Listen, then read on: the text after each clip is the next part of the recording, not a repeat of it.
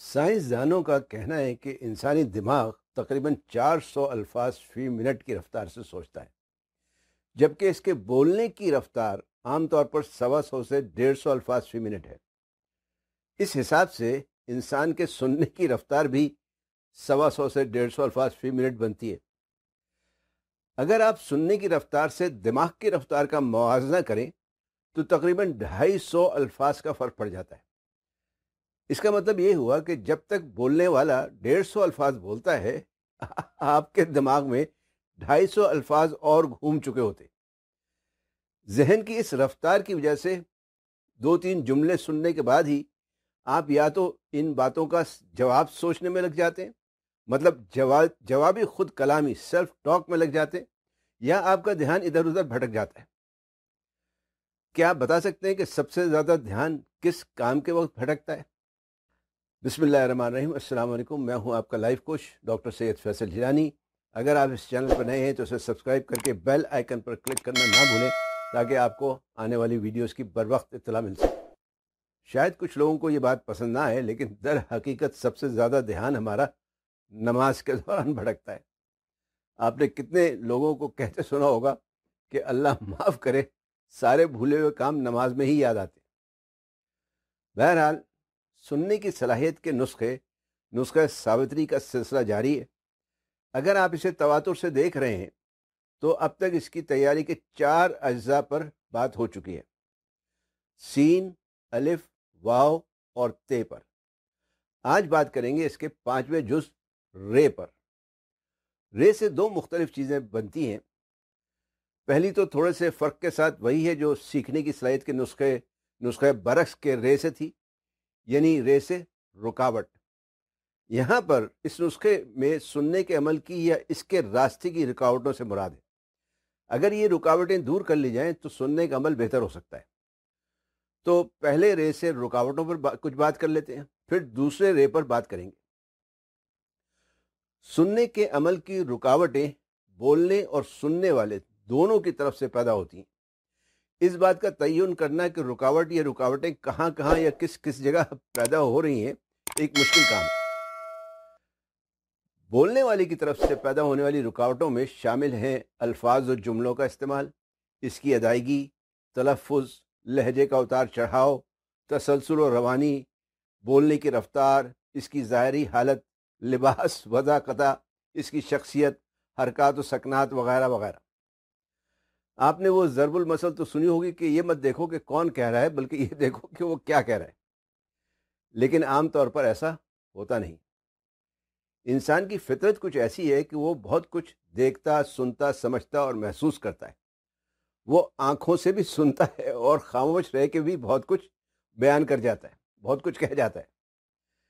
यहाँ फैज़ अहमद, फैज़ साहब का एक शेर याद आ रहा है कि वो बात सारे फसाने में जिसका ज़िक्र न था वो बात उनको बहुत नागवार गुजरी। है खैर, ये तो हुई बोलने वाले की तरफ़ से पैदा होने वाली रुकावटें, जिनकी वजह से सुनने के अमल में रुकावट या खलल पैदा हो सकता है।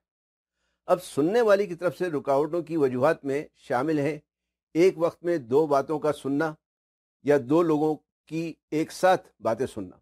मसलन टेलीफोन पर किसी की बात सुनते हुए किसी और की बात सुनना या टीवी देखते हुए या गाना सुनते हुए किसी की बात सुनना, अतराफ या माहौल में किसी किस्म का शोर होना, मौजू से गैर दिलचस्पी या बोर हो जाना, बेख्याली का पैदा होना, बातें सुनने के बजाय इधर उधर देखते रहना, पेन या पेंसिल वगैरह से खेलते रहना, दूसरों के जज्बात और एहसास के बजाय अपने जज्बात और एहसास को ज़्यादा अहमियत देना, खुद कलामी सेल्फ टॉक सेल्फ टॉक में लगे रहना, बातों के बीच में टोकना, लुकमा देना, किसी किस्म का तसब या तफरुका रखना, मसलन रंग, नस्ल, उम्र, मज़हब, जिन्स, ज़बान तलफ़ वगैरह। माजी का कोई अच्छा या बुरा तजुर्बा होना, ज़ाती बुक्स या अनाज रखना, पहले से किसी जहनी परेशानी को होना, जिसकी वजह से सुनने के बजाय अपनी परेशानी के बारे में सोचते रहना, जहन के दरवाजे बंद कर देना, अकल पर ताला लगा देना।